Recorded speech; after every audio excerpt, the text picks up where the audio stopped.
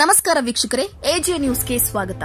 ಬೆಳಗಾವಿ ಜಿಲ್ಲೆಯ ಹುಕ್ಕೇರಿ ತಾಲೂಕಿನ ಗೋಡಗೇರಿ ಗ್ರಾಮದಲ್ಲಿ ಇಂದು ತಮ್ಮ ಜೀವದ ಹಂಗನ್ನು ತೊರೆದು ದೇಶಕ್ಕಾಗಿ ಸೇವೆ ಸಲ್ಲಿಸ್ತಾ ಇರುವ ದೇಶಪ್ರೇಮಿ ಯೋಧರಿಗೆ ಶ್ರೀ ಶ್ರೀ ಪೂಜ್ಯ ಗುರುಗಳಾದ ಕಾಶಿನಾಥ ಮಹಾಸ್ವಾಮಿಗಳು ವಿರಕ್ತಿಮಠ ಗೋಡಗೆರೆ ಇವರ ಸಮ್ಮುಖದಲ್ಲಿ ಸೇನೆಯಲ್ಲಿ ಕಾರ್ಯನಿರ್ವಹಿಸುತ್ತಾ ಇರುವ ಯೋಧರು ಮತ್ತು ನಿವೃತ್ತ ಯೋಧರಿಗೆ ಸತ್ಕಾರ ಸಮಾರಂಭವನ್ನು ಆಯೋಜಿಸಲಾಗಿತ್ತು.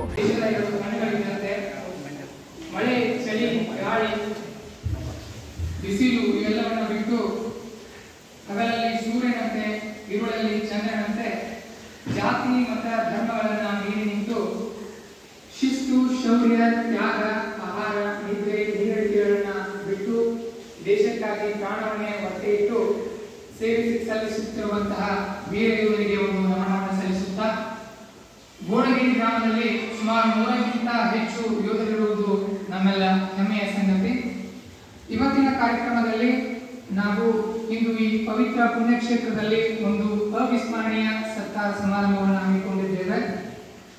ಅದು ಅತ್ಯಂತ ದಕ್ಷ ಪ್ರಾಮಾಣಿಕತೆಯಿಂದ ಭಾರತಾಂಬೆಯ ಸೇವೆಗೈದು ಭಾರತ ಮಾತೆಯ ಕೃಪೆಗೆ ಪಾತ್ರರಾಗಿರುವಂತಹ ಗೋಡಗೆ ಗೋಡಗೇರಿಯ ಹೆಮ್ಮೆಯ ಸುಪುತ್ರರಾದಂತಹ ನಿವೃತ್ತ ಸೈನಿಕರಿಗೆ ಸಮಾರಂಭ ಕಾರ್ಯಕ್ರಮ.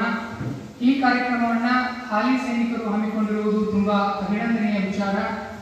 ಈ ಕಾರ್ಯಕ್ರಮವನ್ನು ನಾವು ಗೋಡಗೇರಿ ಗ್ರಾಮದ ವೀರ ಯೋಧರಿಗೆ ಸತ್ಕಾರ ಸಮಾರಂಭವನ್ನು ಕರೆದರೂ ಕೂಡ ನಮ್ಮ ಸೈನಿಕ ಸಲಾಂ ಎನ್ನುವಂತಹ ಒಂದು ಕಾರ್ಯಕ್ರಮವನ್ನು ಅಂದರೂ ಅಂದರೂ ಕೂಡ ಏನು ತಪ್ಪಿಲ್ಲ. ಈ ಕಾರ್ಯಕ್ರಮವನ್ನು ಆರಂಭಿಸುವ ಪೂರ್ವದಲ್ಲಿ ಇತ್ತೀಚೆಗೆ ಶಿವಾಪುರ ಗ್ರಾಮದಲ್ಲಿ ಆನ್ ಡ್ಯೂಟಿ ಡ್ಯೂಟಿ ಮೇಲೆ ಇರುವಾಗ ಹುತಾತ್ಮರಾದಂತಹ ಸೈನಿಕರಾದ ಶ್ರೀ ಮಂಜುನಾಥ್ ಗೌಡ್ನವರ್ ಇವರ ಸ್ಮರಣಾರ್ಥ ಒಂದು ಒಂದು ಅರ್ಧ ನಿಮಿಷ ಕೂಡ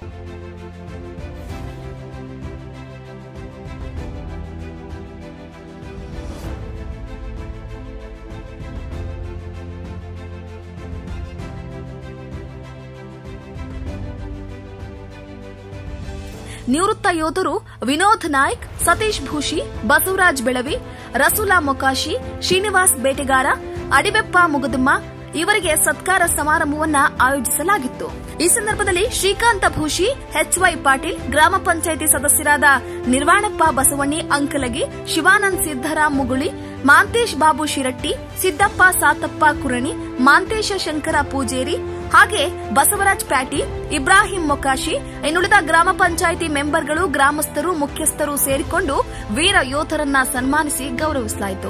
ವರದಿಗಾರರು ಜಿಯಾಯುಲ್ಲಾ ವಂಟಮುರಿ, ಎಜೆ ನ್ಯೂಸ್ ಬೆಳಗಾವಿ.